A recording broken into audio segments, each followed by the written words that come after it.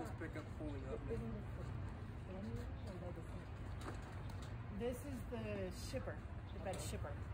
He won't help us move things into the building. So you guys are our movers. Yeah.